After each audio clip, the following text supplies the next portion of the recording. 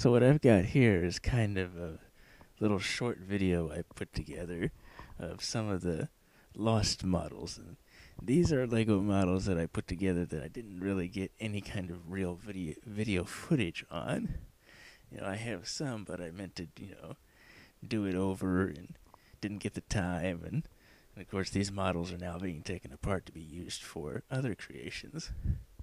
So, the first model I want to introduce you to is my bricklayer prototype. Now, this was kind of a challenge because I wanted to make something that could lay two rows of dominoes at once, all mechanically. There was supposed to be no, no robotics involved at all. It was purely supposed to work on mechanical principle and lay out two sets of dominoes at once, and then you just fill the curves in. Problem with it was is that regular dominoes pieces don't match up with the Lego dimensions. So the Lego pieces, their dimensions don't match up nicely with the pieces you'd find in a normal domino set.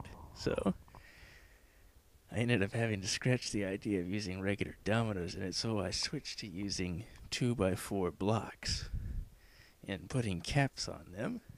And yeah, the idea sort of worked, but as you'll see in the video, there's a couple of problems with it. Number one, the spacing between each block after it places it is too much. And number two, it has terrible reliability. The the ejector mechanisms for each row to eject the block out don't seem to work very well. So you'll see that in the video. And the second one is another creation that I've put together, and it's gone through multiple phases with different redesigns. I've recently changed into something else, which will probably have a video of it up here pretty shortly. But it's the it's the concept I've done with using a vehicle and a trailer that's pulled with it. And at first, the trailer's been around for a while. I actually used the trailer with the Lego Road Train concept I did back when I had Dickie Bertha and it was just kind of a small trailer with some windows in it and some minifigures. And if you look back at the Lego Road Train video, you'll see the trailer and actually see from inside of it when I put a camera in it when it was being towed. Now, in BrickFair 2010, I designed a vehicle that used rack and pinion steering and also a differential gear, so it would act as a car. And then I adapted the trailer to become a bumper pull trailer, kind of like a, a real bumper pull based trailer. And if it be pulled behind it, it had the same kind of design as before. And then for 2011 and 2012, it the design of it changed. I made the trailer a little bit longer, added another set of wheels to it, and I also made it a fifth wheel or gooseneck changed that design around. I also changed the vehicle around that pulls it.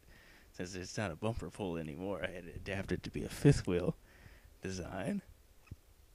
And so I changed it up to where it used the Ackermann steering concept. It still had a rear differential, but it had enhanced rack and pinion steering using the Ackermann steering principle. and the Ackermann steering principle, the way it works, is that on an inside on a turn, the inside wheel will turn more in the number of degrees than the outside wheel. So each wheel has a different it's drawing a circle of a different radii if you were to plot it out on paper. And the reason for this is because if you use traditional rack and pinion steering, the car will want to tend to push outwards in the turn because each wheel is at the same angle of deflection. With Ackermann steering, each one of them is at a different angle. So it helps track in the turn so it doesn't skid and push. A real auto uh, automobile has a modified Ackermann steering setup for the same reason. So you'll see that one right after the bricklayer prototype. So let's get on and, and look at some of these models uh, that have gotten lost.